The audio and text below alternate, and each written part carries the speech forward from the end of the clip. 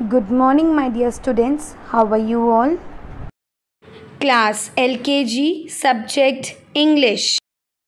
Let's learn the formation of small print Y. Students, so today we are going to learn small print Y. What is the phonics sound of Y? Y. Y, y, yo, yo. Y, y, yellow color, yellow sheet and this is Y here, yellow color. So what is the phonic sound of Y? Y. Now today I will teach you the correct formation of small print Y. Okay, so let's start.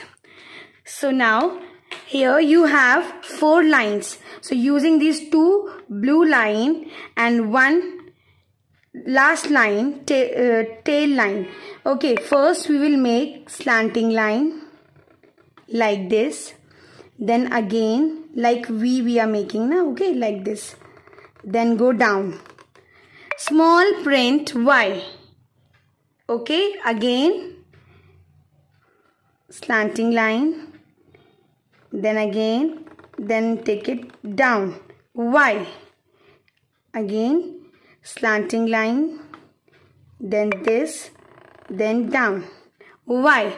This is small print Y and this is the correct formation of letter Y. Thank you. Thank you. Have a good day.